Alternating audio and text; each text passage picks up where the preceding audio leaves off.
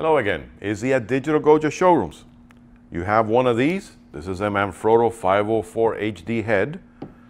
You most likely are going to need extra of these, the 504 P long plate.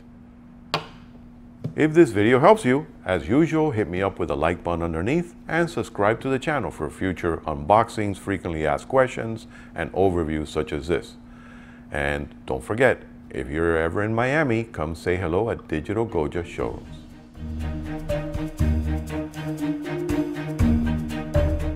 All right, so this is the Manfrotto 504 P long quick release plate.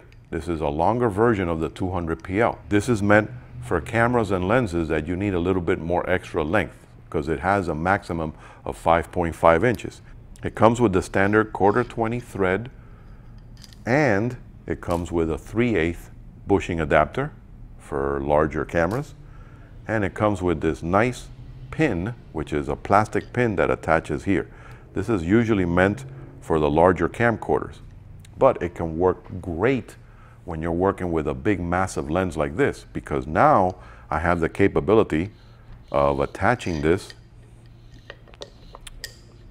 on here and when I lock it on it's not going to have the twist factor going on. There's no way this is going to twist because now it's threaded on with the quarter 20 and the pin is holding it directly over here. So you're not going to have the capability of this twisting off for some reason.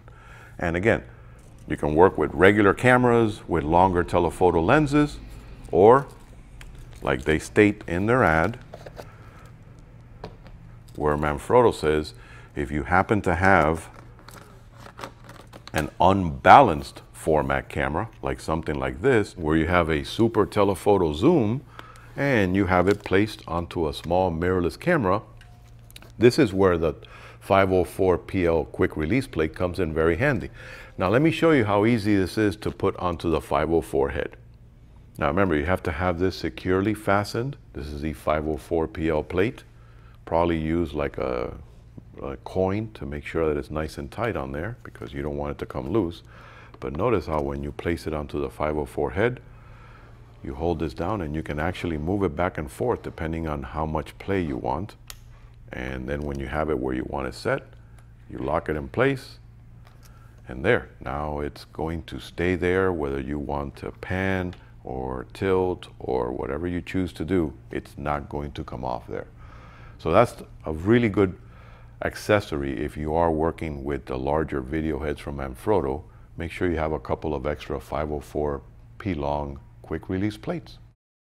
Well, I hope you found this video to be helpful. If it did, Remember to hit me up with a like button underneath and subscribe to our channel for future tutorials, frequently asked questions, and unboxings.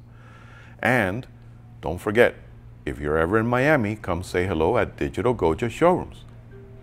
Happy shooting.